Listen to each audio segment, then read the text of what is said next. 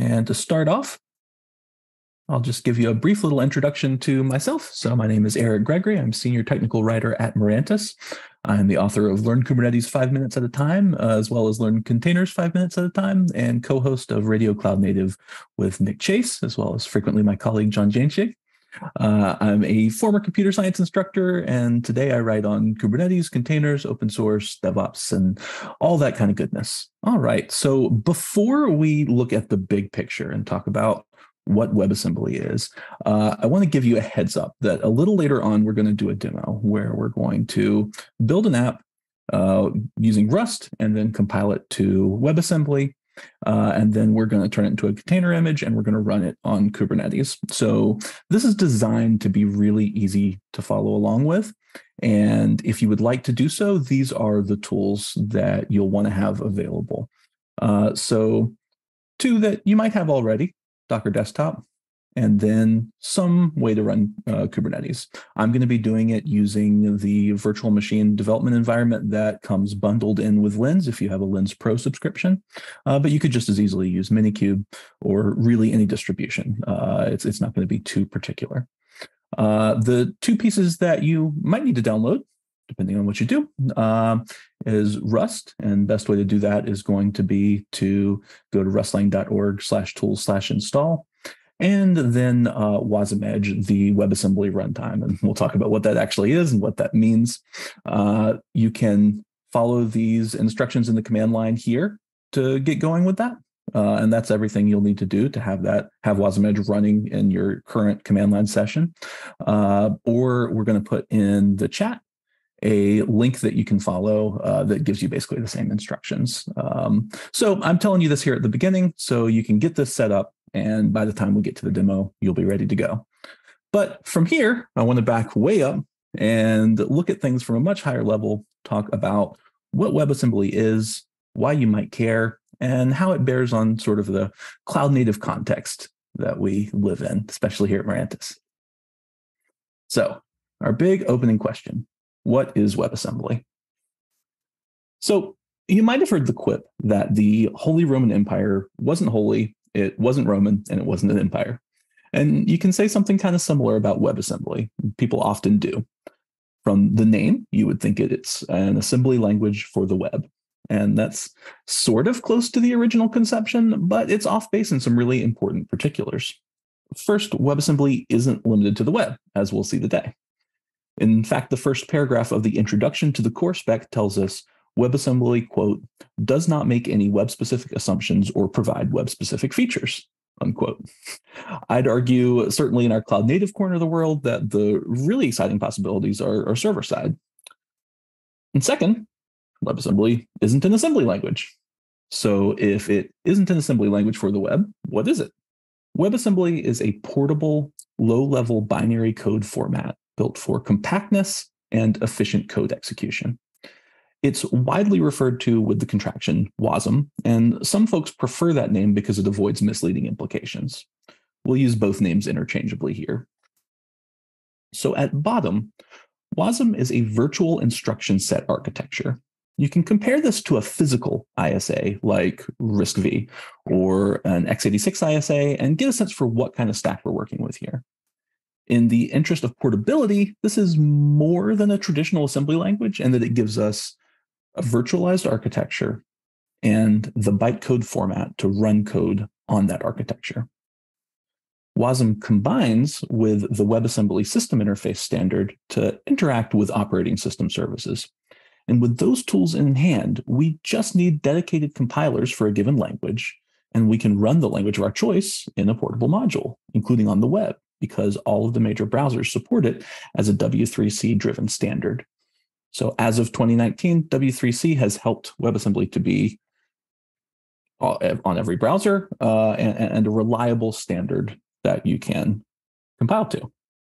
And really, from a developer standpoint, which is what we're largely going to take today, that's exactly what it is. WebAssembly is a standardized, virtualized compilation target.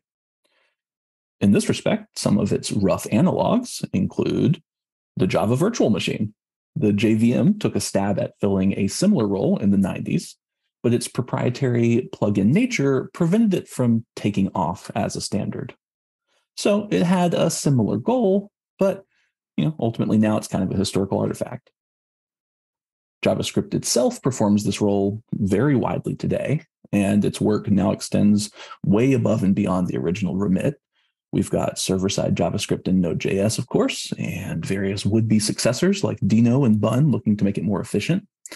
JavaScript isolates are a compelling way to sandbox and modularize code. The ecosystem is really exciting to me, but regardless of how much efficiency you squeeze out of JavaScript, a high level language is just a definitionally suboptimal compilation target.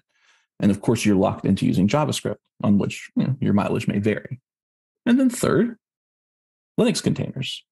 You probably know if you're here, containers leverage Linux kernel namespaces to create an isolated runtime environment, including all of an application's dependencies, necessary libraries, etc., with the whole bundle ultimately executing to the host kernel. This has proven enormously useful, and it's kickstarted the entire cloud native ecosystem but there are some drawbacks, which may be more or less relevant to you depending on your use case. And since we're here today talking about running WASM modules on a container orchestrator, this is the comparison that we should into, dive into most deeply. So, okay, comparing container images and WASM modules. Let's start with the big disadvantage of WASM relative to container images, and that's tooling and developer experience. In the world of containers, we have a massive, thriving ecosystem of mature tools, often with a couple of consensus options for any job we need to do. Even if containers can complicate the development loop, as you leverage tools like Kubernetes, they also dramatically streamline many aspects of development and are about as generally beloved as any developer tool out there. WASM is more of a wild frontier, and that's exciting for a certain type of developer, but there's no doubt that the toolchain is a work in progress with plenty of gaps. The good news for WebAssembly here is that the last six months even have seen some big important steps forward, most notably the direct integration with Docker and the runwasi shim that enables containerd to integrate with uh, WebAssembly runtimes. But at the end of the day, using WebAssembly is almost certainly going to involve more greenfield development than other approaches. Container systems do some ingenious things to keep container images relatively lightweight and generally speaking, lighter than virtual machines doing a comparable job. For just a super high level review, container images are broken down into layers. So you'll have your application code up top, direct dependencies underneath, system level libraries and resources below, all the way down until you reach the Linux kernel itself. So, say we're running two different Node.js services. Ideally, they'll share the majority of their image layers, layers for Node, maybe Alpine Linux, and so on. Those shared layers won't be duplicated, so you'll save on space relative to a VM system where you're generally going to have a full operating system for each VM. So, okay, as far as footprint goes, so far so good for containers. But we're always trying to get more efficient to optimize our footprint and speed things up. So in container world, we see a lot of work to try and create the most bare bones base images possible with the absolute minimum of cruft or unnecessary components. For one super basic example, you start to ask questions like, do we want curl in this image or is it just taking up space? Do we want a shell in this image or is it just taking up space? By contrast, WebAssembly starts off at an advantage because it's precompiled. The module is simply the bytecode for the application which we've compiled from our original high level language. So going back to the example of a small node microservice, if we want to deploy that as a WebAssembly module, we're going to compile it into bytecode, and that bytecode will execute against a WebAssembly runtime environment, whether that's a client browser or a server side runtime. And that's it. You're not bundling up the JavaScript code and the node runtime and the runtime's dependencies and any OS accoutrement that you may or may not want. It's just the compiled bytecode. That gives you a much smaller footprint and much quicker time to start. Finally, we should talk about portability. Containers are famously and fundamentally highly portable, but there are some limits. Images have to be tailored to specific machine architectures and operating systems, and that makes sense because they're ultimately using the host system kernel. So, if your image is going to run on an ARM machine like a Raspberry Pi or an AWS Graviton instance, you need an image tailored to that architecture. WebAssembly modules, by contrast, really are platform agnostic. You can compile once and run effectively everywhere. Portability, in particular, drives these quotes from Docker co-creator Solomon Hykes, which you'll see uh, circulated a lot in WebAssembly circles. Uh, so since this is Twitter and he's quoting himself, we, we start down at the bottom. If WASM plus WASI existed in 2008, we wouldn't have needed to create Docker. That's how important it is. WebAssembly on the server is the future of computing. A standardized system interface was the missing link. Let's hope WASI is up to the task. And then he follows. So will WASM replace Docker? No, but imagine a future where Docker runs Linux containers, Windows containers, and WASM containers side by side. Over time, WASM might become the most popular container type. Docker will love them all equally and run it all. And indeed, as of late last year, Docker does run WebAssembly modules using the WASM Edge runtime, which is what we'll be working with today. But before we do that, I want to talk a little bit about use cases. Given its particular strengths and weaknesses, one of the most natural fits for server-side WebAssembly is edge applications, where resources are limited and high performance is essential. The smaller footprint saves you memory.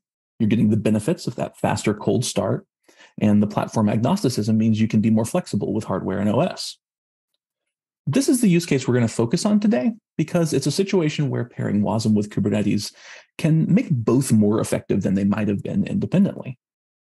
On its own, WASM gives you a great way to run fast, efficient, portable code, but you need a way to deploy and manage that code at the edge.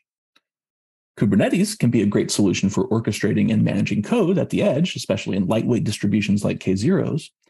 But container images themselves are often unwieldy for edge environments, especially when speed is of the essence. So this is a particular case where the technologies can be better together. And in a larger sense, you could say the same thing for WASM and containers themselves. WebAssembly gives you a way to lighten and speed up heavier duty components, while containers give you a richly supported way to develop things that are lighter by nature and these pieces can play nice with one another through the common abstraction layer of Kubernetes. So just like Solomon Hykes said, we're not talking about a replacement for containers so much as another pouch on our tool belt that helps us tackle problems that used to be a lot more challenging. So let's start to drill down into the specific tools and components we're going to use today and how they all work together. On the web, the browser serves as the execution environment for WASM modules. On the server side, we need a WebAssembly runtime. This is where WASM Edge comes in. WASM Edge is a CNCF sandbox project designed to support cloud native paradigms for WebAssembly usage, especially at the edge, as you would guess from the name. This isn't the only WASM runtime by any means, or, or even the only one in the CNCF ecosystem, but it's well suited for our use case today. And it's also gotten some good community traction, recently being used to bring WASM functionality to Docker, as we mentioned before. One reason WASM Edge integrates well with Docker or Kubernetes is that it's Open Container Initiative compliant. Ultimately, this means we can integrate with existing cloud native tooling and treat a WASM workload very similarly to how we would treat a traditional container, using all of those standard OCI abstractions. Now, since this is the cloud native ecosystem, there are quite a few ways that different components can be combined and recombined to do this particular job of orchestrating WASM workloads with WASM Edge on Kubernetes. But for practical purposes, there's the easy way and the harder way. All right, the easy way. That is to run WASM Edge and your WASM bytecode together, bundled, inside of a slim container. Now, this has pros and cons. Both of these ways have pros and cons. The pros are that it's very easy while providing significant footprint and performance increase over traditional containers. It'll also work on most clusters without any changes to the underlying substrate. So you can just build and go. The con is that your size and performance, there's going to be a sacrifice over running WASM bytecode directly uh, through the container runtime. Now, the harder way is to run WASM workloads directly via the node's low-level container runtime plus WASM Edge. So uh, we can use a shim, for example, to have WASM Edge work together with containerd and directly run those WASM workloads. The pro here is that that's very highly performant and it's optimal for cases where maximum efficiency is critical, and it gives you a smaller attack surface. The con is that you have less tooling integration, and the bigger con is that it requires specific cluster configuration, which isn't trivial. So Either way, either the easy way or the harder way. We're wrapping our WASM code in either a container or a container-like OCI abstraction in order to play nice with Kubernetes. The fundamental difference here lies in where we put the runtime. Either we put it in the container itself, the same way we would bundle V8 with JavaScript code, or we put it deeper down with the container runtime at the node level. You might very reasonably ask, wait, why am I wrapping my WASM workload in a container if part of the appeal is a performance increase over containers? The first answer is to keep using Kubernetes in the first place. So we don't need to totally overhaul our infrastructure, don't need to relearn new systems, but can keep that common abstraction layer with the rich ecosystem of tooling that's built up around it. The second answer is even putting the runtime directly in a slim container, you can get a really big improvement. The container image size for a really basic microservice can be as little as four megabytes if it's uh, hyper optimized. Ordinarily, we would view 30 megabytes as like an ultra slim, ultra efficient uh, container and uh, container image size. And more typically, we might expect to see image sizes measured in gigabytes. And out of those four megabytes in the Slim container, 80% is the bare bones Linux scaffolding you absolutely need to make the Wasm Edge runtime work in that context, which shows you how comparably tiny the runtime itself and the bytecode can be, even when bundled. The third answer is security. In the Slim container, you have two layers of isolation with the application inside of the highly secure WebAssembly sandbox.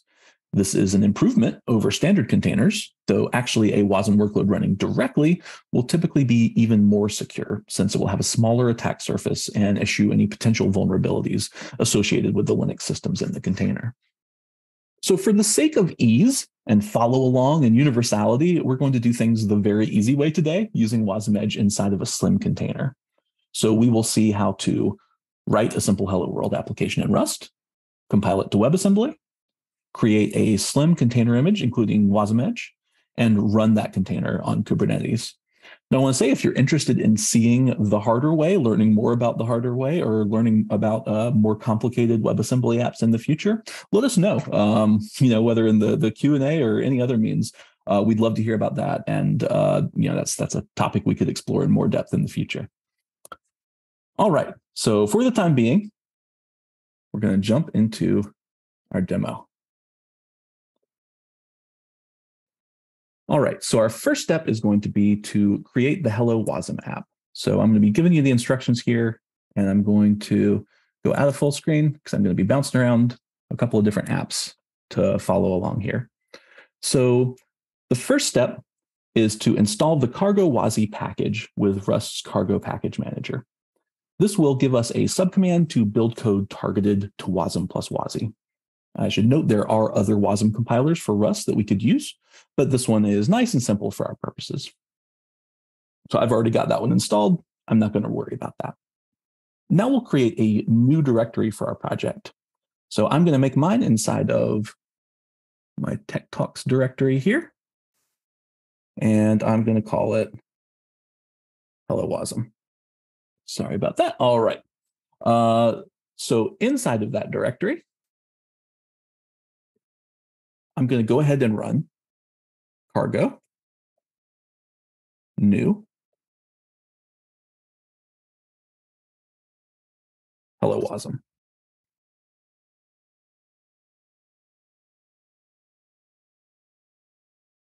All right. So this is going to give us the bare bones of an app. And if we dig into the source folder and the main.rs file, we'll see that it's pre-populated with a Hello World app. So I'm going to bring up VS Code here. And we can go into the source folder, look at our main.rs file, and it's super simple, right? We've just got this function, we've got our print line. All right. So let's make a tiny little modification to that for fun. We'll say hello wasm. And I'm saving. All right. Now we're going to use that WASI subcommand we installed just a moment ago to compile the app to a WASM module. So from our project directory, we're in the right one here. We're going to say cargo WASI build. And note that we're building this just uh, in in unoptimized dev style for debugging. Uh, so this isn't going to be our ultra ultra highly optimized release build. This is just uh, the quick and dirty way. We're going to be doing things the quick and dirty way uh, all throughout this demo, really. So if we bounce over to the file manager here, we now have a target folder. And if we click through, we're going to see that we have several build files here. We only need this version, hello wasm.wasm. And I'm going to copy this over to a second folder I have going for building the container. All right, so we now have a directory with just the WASM module and this Docker file that we're going to look at in a minute. So now we want to build the container. But before we do, let's test the module. So I have the separate directory I just showed you with the Docker file now the module. So first, let's take a look at this Docker file. This is what it looks like. So if you're following along, you'll want to copy this into your own Docker file. And what this is going to do is build from the base of a slim runtime image from Wasm Edge and add our module. And the container is just going to execute our module when it runs. And we can do the same thing locally. And actually, there's a slight error in this line here. This should be hello wasm.wasm. So here I'm going to do a standard Docker build and push to Docker Hub. So if you're following along, you'll of course want to use your own Docker ID here in place of where my name is. Um, so going back over here,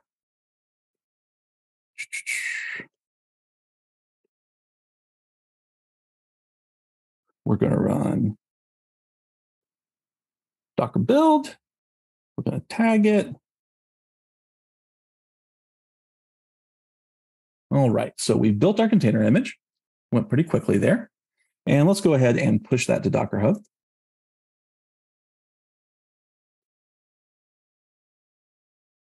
Before we move any further, let's hop over to Docker Desktop and take a look at some container images. So these are the container images stored locally for me. Uh, you can see this is the version of Hello Wasm that I just pushed. Uh, and I'm being bag and bad not using version tags. So I have this uh, dangling one right here from working on it previously. But note the sizes here 10 megabytes. And now look at the others, right? Um, we're just in a whole different size classification from the types of images that you're typically working with. Okay, so now we're ready to run our Slim Wasm container on Kubernetes. I have a dev cluster running on Lens already, and uh, we've been doing things quick and dirty so far. So we'll continue that trend and get this pod running imperatively. So we're just going to run kube control, run hello wasm. We're pointing at this image. All right. The pod has been created. And then we see it up here going about its business. And when we open the logs, we've got our hello wasm. Now, this container doesn't really have an ongoing task. So the container is going to restart a few times, then Kubernetes is going to kind of back off restarting. But it's really as simple as that. We've got a very lightweight container running Rust compiled to WASM. And this particular approach that we've used today is something that we can replicate on virtually any Kubernetes. All right. So throughout this presentation, I've mentioned alternative tool sets a couple of times, and there are a couple pertaining to today's particular use case that I want to briefly highlight so you can explore them if you're interested. The first is Krustlet, which takes a different approach to running WASM workloads in Kubernetes by replacing the, uh, the kubelet with this alternative written in Rust, hence the name. Like Wasm Edge, this is a CNCF sandbox project, and it has its own requirements and limitations, including a good deal of difficulty around networking. For a single developer or very small team working with a small cluster, it's arguably easier to get set up than the Wasm Edge stack. So you might consider it in those sorts of environments and for an application where networking isn't important. But generally, the movement is toward WASM runtimes that integrate at the container runtime level. Notably, Azure has moved away from Krustlet in favor of Containerd, Run WASI, and the WebAssembly runtime, which is a more standardized um, sort of way, uh, and it simplifies running containers and WASM workloads side by side. The second tool I want to mention is Wasmtime, which is another WebAssembly runtime analogous to WasmEdge. This is actually the one that Azure Kubernetes Service is using as of December 2022. Wasmtime is very widely used and maintained by the Bytecode Alliance, which is a nonprofit group that helped originate the WebAssembly system interface standard and is generally closely involved with WebAssembly happenings of all sorts. Wasmtime can fulfill the same role as WasmEdge just as happily. In this case, we used WasmEdge because it's a little more specifically targeted to cloud native use cases and it's under the auspices of the CNCF, but ultimately either is a perfectly solid choice in this context. So We've seen today that incorporating WebAssembly into your cloud native development can be really quite easy. And even this super simple approach can offer real advantages for edge use cases. But before we go, I also want to take a step back and think for a moment about the operator point of view, especially for use cases where you might have a lot of edge environments that are or could be managed by Kubernetes, and where WebAssembly can solve resource constrained performance criticality problems. With tools like WasmEdge and RunWasi, operators really have the ingredients to deploy lightweight WASM-ready Kubernetes clusters to the edge at scale using tools like Cluster API or Mirantis Container Cloud. And that really opens up some powerful and exciting new possibilities for orchestrating workloads at scale across whole new classes of environments while retaining the Kubernetes scaffolding and ecosystem that can help drive a smooth, fast, secure, zero ops sort of approach. Uh, so if you're interested in that operator perspective, again, if you're interested in exploring the harder way, let us know and, and we can try to develop some uh, materials to help out with that. So before we wrap up today, got some further reading for those who are interested in uh, diving in a little more. Uh, so there's the Wasm Edge book, uh, which deals with the Wasm Edge runtime, has a lot of great demos. Uh, that's just uh, sort of a free online web format book. Uh, so super useful there. The Wasmtime guide, which is for the uh, alternative runtime Wasmtime. Uh, it's a, a, very similar sort of guide and very useful, highly recommended. And then the print book, The Art of WebAssembly. Uh, the Art of WebAssembly uh, is cool because it uh, takes you a little bit into WebAssembly text, uh, sometimes referred to as WAT, W-A-T, and that's uh, as a language to, to compile to the WebAssembly bytecode. It's a good deal lower level, serves as kind of a middle step between the bytecode and the higher level language. Uh, and it helps you to understand what's actually going on in the WASM binary itself. So if you're really interested in WebAssembly and how to optimize it, that's a good place to go. If you're just getting started on your cloud native journey, you can check out my books from Mirantis Press, Learn Containers Five Minutes at a Time and Learn Kubernetes Five Minutes at a Time. Uh, so you know if you're a little earlier in the in the path, uh, hopefully those can help you out. And digital copies are available for free at mirantis.com/press. And uh, just want to mention our next tech talk, which is going to be on Kyverno, what, why, and how, and that is on February 14th at 4 p.m. Uh, Indian Standard Time, 10:30 a.m. GMT, or 5:30 a.m. Uh, Eastern Time. And with that, that's all we've got for today. Thank you so much for joining.